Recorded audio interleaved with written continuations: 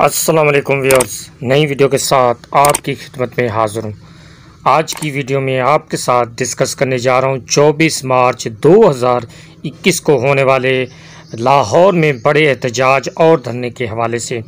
जैसा कि आप जानते हैं कि 24 मार्च को ही एक मीटिंग कॉल कर ली गई है और इस हवाले से मुख्तलिफ़ सेक्रेटरी साहिबान जो हैं, इसमें शिरकत भी करेंगे और इस हवाले से कोई लाहेमल भी मज़ीद निकलने की उम्मीद की जा रही है। लेकिन आपको बताता चलूँ कि अगीगा के प्लेटफॉर्म से जितनी भी तंजीमें हैं और जिन्होंने प्रोटेस्ट की कॉल दी हुई है, उनके हिसाब से 24 मार्च को एहतजाज बरकरार है। और सिविल सेक्रेटरीट लाहौर के सामने एहतजाजी धरना उस वक्त तक जारी रहेगा जब तक नोटिफिकेशन का इजरा नहीं किया जाता। इस हवाले से तमाम सरकारी मुलाजमीन चौबीस तारीख को लाहौर ज़रूर पहुँचें।